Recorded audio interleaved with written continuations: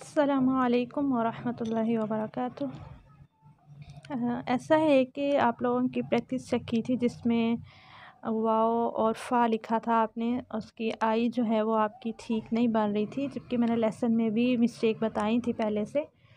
बहरहाल उसे इतना अच्छा कॉपी नहीं किया गया था। तो दोबारा से आज की वीडियो जो है उसी के ऊपर बना रही हूँ। तो आप लोगों ने तवज्जो से देखना है और समझना है। जैसे कि मैंने बताया था कि आपने दो नुकात लगाने हैं। ऊपर, ठीक है? और इसके साथ ही बिल्कुल यहाँ पे आपने यहाँ से इस तरह से करके डिफरेंस नहीं छोड़ना। एक नुक्ता और ये हो गया दूसरा नुक्ता, ठीक है?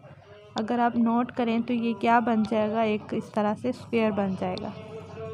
तो इसके अंदर अंदर आपकी आई होनी चाहिए। आप में से कुछ ने जब नुकात लगाए हैं तो उन्होंने क्या किया कि एक नुक्ता यहाँ लगा लिया, दूसरा यहाँ और फिर यहाँ पे ऐसे डिफरेंस छोड़ के यहाँ पे लगाया हुआ है।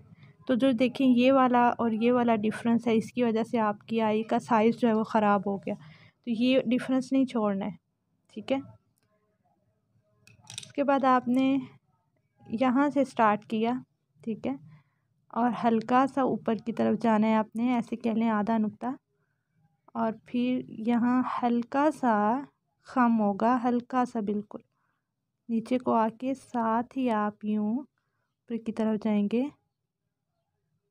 दरमियान से थोड़ा सा ऊँचा होगा, उसके बाद साथ ही ये यूँ बन जाएगा। ये। और यहाँ से आपने छोड़ नहीं देना है, इसको आपने इस तरह से आपस में मिला देना है। और फिर आपने क्या करना है, आप दरमियान से इसको रिमूव कर लें एक्स्ट्रा लाइन्स ताकि आपको अच्छे से उसकी शेप समझ आए।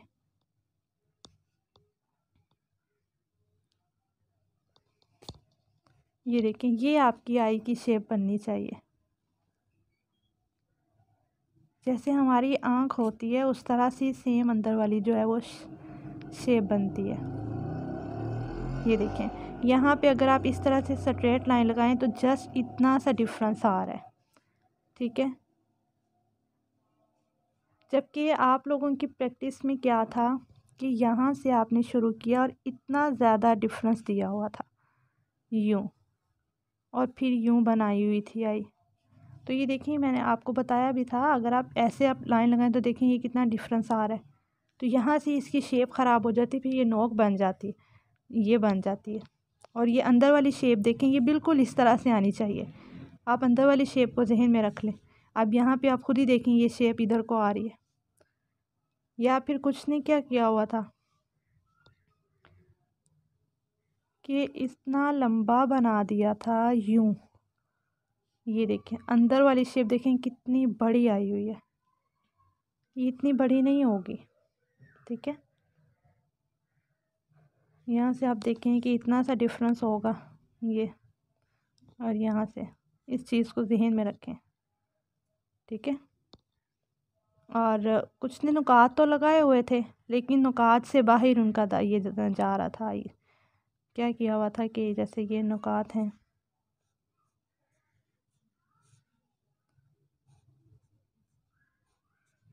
जब बनाई है आई तो वो इनको भी नीचे से भी क्रॉस कर रही है, यहाँ से भी क्रॉस कर रही है और ये। यहाँ से अगर मैंने लाइन लगाऊँ तो इतना बाहर जा रहा था, यहाँ से भी इस तरह से बाहर आ रहा था। तो इस चीज़ का आपने ध्यान रखना, अगर आपकी आई अच्छी बनती है तो आपका वाव भी बहुत अच्छा बनेगा। वाव में भी यही आई इस्तेमाल होती है। फ़ा में भी यही इस्तेमाल होती है, थोड़े बहुत डिफरेंस के साथ कॉफ में भी यही आई इस्तेमाल होती है। तो आप देखें, तीन हरूफ आपके डिपेंड करते हैं आपकी इकाई पे।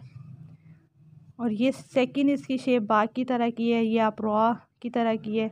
और ये दायरे की भी अक्सर आप लोगों की मिस्टेक आ रही है। अभी आपको बता दूँ।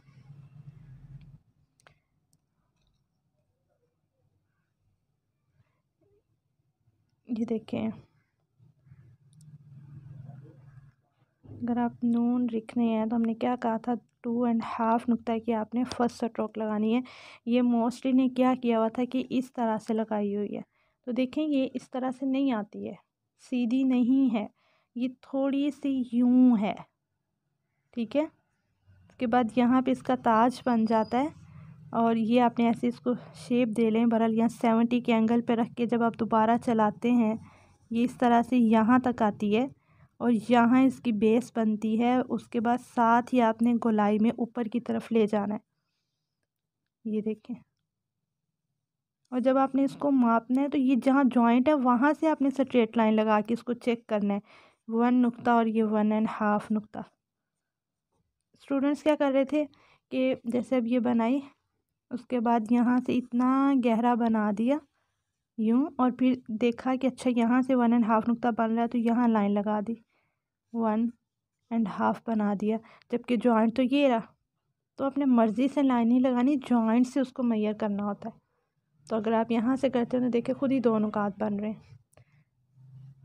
ये चीज़। एक और इसमें मेन दायरे में क्या कर रहे हैं कि जब आप दायरा बनाते हैं तो कुछ यहाँ तक ले आते हैं और फिर ये नोक बना के ऐसे ले जाते हैं। ये देखें, ये नोक यहाँ पे नहीं बननी चाहिए। बेस यहाँ पे बनेगी, यहाँ पे आप देखें। ये देखें, ये दरमियान में, उसके बाद गोलाई में ऊपर की तरफ़ जाना है। ये यहाँ पे आके एकदम ऐसे ऊपर नहीं लेकर जाना। यही चीज़ बा में भी है। जब बा आपने बनाई तो तब भी जो है, यहाँ से आहिस्ता आहिस्ता आपने ऐसे लेके जाना है। मेंबर्स क्या करते हैं, यहाँ से एकदम ऐसे यूँ ले जाते हैं। ये नोक बना के ये काम नहीं करना आपने। तो अगर आप इसको समझ लेते हैं तो मुझे उम्मीद है कि ये वीडियो आपके लिए फ़ायदा मंद होगी। इसको थोड़ा सा समझिए। अलैक्म